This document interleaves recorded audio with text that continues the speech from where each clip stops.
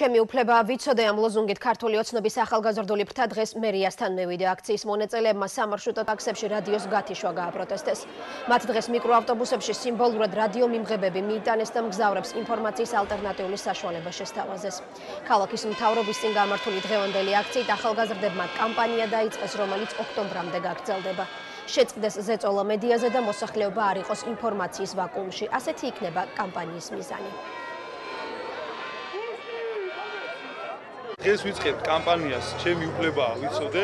რომლის ფარგლებში გეგმავთ სხვადასხვა ტიპის პერმანენტულ აქციებს რომელიც თავიდან ბოლომდე მიმართულია ხელისუფლების წინააღმდეგ. ეს კამპანია ეხება მედიაში ხარვეზებს და შვებ მედიასთან დაკავშირებით, რაც კი რამ ხდება და რაც არ ხდება, ყველაფერს ეს არის მარშრუტკებში რომ აკრძალეს რადიოების მოსმენა, შემდეგ გლობალის თებშების ჩამოხსნა და სხვა კიდე მრავალი პრობლემა, რაც დღესდღეობით არის მედიასთან დაკავშირებით. ყველა მსგავს 99%-ს უნდა რომ რადიო ჩართული იყოს.